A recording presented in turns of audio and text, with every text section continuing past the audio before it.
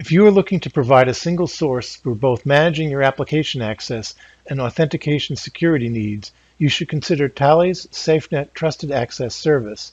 Hello, I'm David Strom, and here we are looking at the main user's dashboard. It shows you a summary of access attempts by policy and application, including successes and failures, and it also has tabs for the more detailed logs too.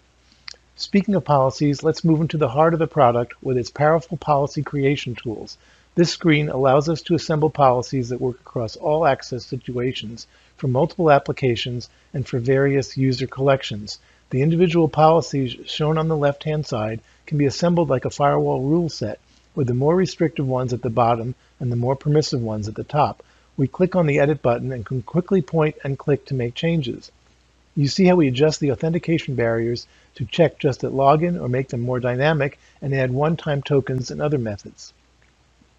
This flexibility is an important distinction and advantage over other authentication and single sign-on products.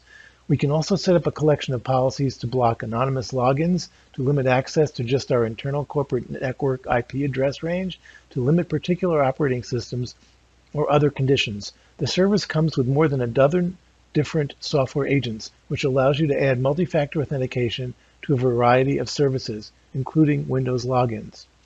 Setting up individual application access is similar to other single sign-on products, as shown here with templates to add the various SAML, OIDC attributes, and other metadata and URL details. Let me show you the process to activate a new user, starting from scratch, where the user is asked to download the MobilePass Plus app on their iPhone and push the notification to their phone to complete the process. It just takes a few seconds and is very efficient. The user has a powerful and secure mobile authentication app already configured. Token provision can easily be automated and integrated into Active Directory. We click on adding a new rule and then configure it here according to a specific token type. There's plenty of support for a wide variety of tokens, and the service also supports two non-token methods using the built-in Windows Kerberos and certificates. It comes with 49 templates to help you create various reports, and they can be easily customized as you see here, which can be scheduled and produce various output formats. As you can see, Thales SafeNet Trusted Access is a one-stop security solution for both access and authentication purposes. Thanks for watching. This is David Strom. You can watch my other screencast reviews here, as well as check out my other articles and speeches at these links.